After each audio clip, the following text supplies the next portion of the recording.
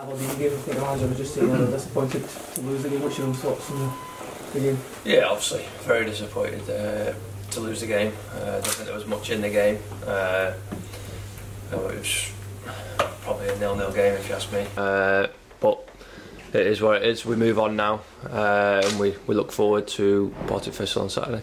I suppose it shows where the squad have come and how well the manager has done. That you know, last season they were runner up in all the main sort of competitions, and now Yeah. you guys are disappointed that you aren't going there, are, are hosting them and beating them.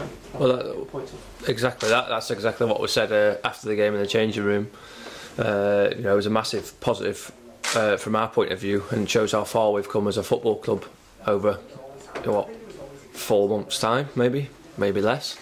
Uh, you know, it, it's it's good for us. Uh, I think they were they came here uh, after losing three 0 and they changed their formation because of us and changed personnel because of us. So it's a compliment for us as a, as a football club. Uh, uh, so we, you know we- we're, we're confident in the minute as a group and as a football club. So we need to we need to deliver on Saturday now. You must be delighted personally as well for the start of the season. You've had just some big goals and, and some big games for yourself as well. Yeah, I've been pleased with my return. Uh, you know, if you were to tell me I was I scored nine goals by now, uh, I'd have took that. Uh, so yeah, I'm happy the way it's going for myself and for the football club. You know, we're in the I think we're sixth at the minute and semi-final uh, of the cup. So uh, as a football club, you would have took that at the start of the season as well.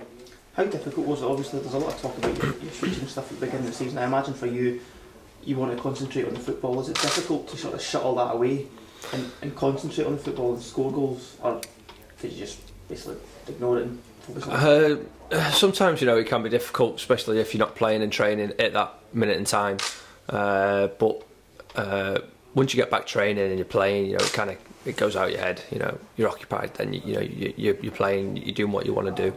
Uh, we're so lucky uh, to play the sport that we well, well I grew up. Uh, you know, enjoying and love doing so. I'm, I'm, I'm, the, I'm very, very lucky and privileged to be able to do that. So I try not to let anything like that affect me. Uh, the way I look at it is it's a compliment. Uh, it's it's a massive pat on the back from myself uh, if if someone's interested in me. There is obviously a lot of talk about the future. I think obviously the inevitable question: What do you see it? Do you see it as this is your final year at Motherwell? Are you hoping to? Again, again, I've, I've, I've not really give it much thought. I'm just trying to think about the here and now and concentrate on scoring goals. Uh, at the minute, I'm doing that, and uh, that's that's the way my mindset is, and that's the way I want to carry on. Uh, and hopefully, I can carry on scoring the goals. In terms of your level of enjoyment, though, this must be a, a real rich, rare form for you. Must be. Is this the most or the most enjoyable part of your career so far? Playing at, this moment in time with Motherwell. Uh, I think since I've come to this football club, I think in my first year, uh, I was probably on seven goals at this point last in my first year. My second year, I was on seven goals, and then this time I'm on nine goals. So it's not that far far apart. Uh, so you know, I think I've been quite consistent with it, uh, and that's what I've, I've tried to do. Uh, try and go in, into every game like any other and score goals, and that's what's, that's what I'm paid to do at the end of the day. Uh, but in, in terms of enjoyment, I, I've enjoyed it ever since I walked in the front door at this football club, uh, and, and and that's probably why you've seen uh, me play with so much uh, passion and you know a smile on my face because, and that's probably why you've seen the best of me because I'm happy. Uh, I think in previous years when I when I was a young kid and I was going out on loan here, there, and everywhere, at a few clubs I wasn't happy, and I'm not the same player. Uh, to get the maximum out of my uh, potential, I, I need to be happy, and, and that's what this club's allowed me to be. Um, in terms of your future, there's obviously been a lot of talk, and it would be really easy for you to get unsettled off the pitch.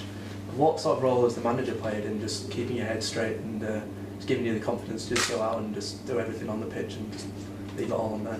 Well, that's exactly what the manager said. To be fair, uh, he said, you know, don't let it affect you. Go out there and prove people wrong, and and show people why people are coming in for you. Uh, I think you've seen just before the Aberdeen game, uh, he come out and said, go and prove to Aberdeen manager why why bid for you and, and why and why they should have put more money in for you. Uh, I like to think I did that on the on the Thursday night. Uh, but again, I didn't really give that much thought. I saw the headline, obviously, but uh, in terms of myself, I just thought, right, it's another game, go and enjoy it. Uh, thankfully, I've managed to score the two goals. So that, that's the way I, I address things. But the gaffer's been, been brilliant for me. Uh, ever since I come to this football club, he's helped me. Uh, at the first point, he was assistant manager, and uh, he was very good at man management. Uh, I remember at the, at the very first time uh, I wasn't actually playing. It was when I first come to the club. Uh, we were in Inverness away. I was on the bench, and I remember him pulling me on the, the second week of my uh, at me being at this football club and just pulled me uh, aside and said, you know, keep working hard, keep doing what you're doing in training, and you'll get in.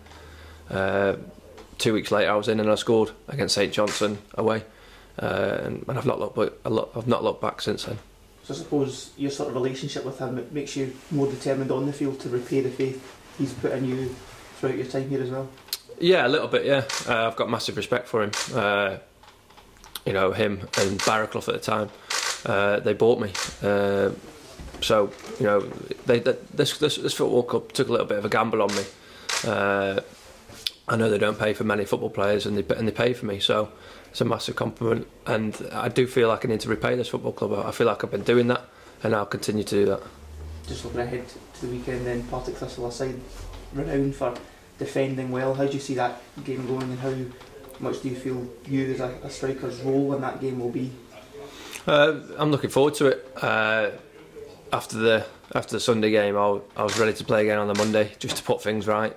Uh, I think everyone felt the same. Everyone was a little bit down, but you know we, we, we've come back in and uh, we're all positive again. Uh, and I'm looking forward to the game. Um, I certainly think we can we can cause problems for them. Uh, so that's what we're going to do. As a striker on nine goals, is this like the one goal that you always kind of want to get to double figures? This always when you, it's always in your mind thinking, right, the next goal gets me to ten. Not really, no. Uh, I think if you get caught up and stuff like that, then it might affect you. I literally just it's another goal. That's the way I think. Uh, if, yeah, it is my tenth goal. You know, it does put me into double figures, which is uh, a good achievement before Christmas. Uh, but in terms of the way I think, I just think it's another goal, uh, and I'll, I'll, I'll, just be trying to do that every time I go out there and play. Have you set yourself any targets at the end of the season? Uh, not not massively, no. Uh, I've always got little targets in my mind along the way, but uh, I always keep them to myself.